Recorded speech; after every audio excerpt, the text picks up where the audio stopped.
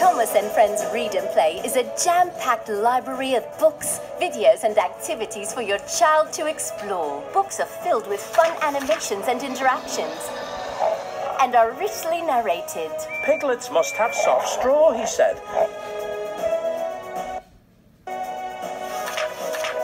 Boy, activities provide learning through play with fantastic videos bursting with all your favorites.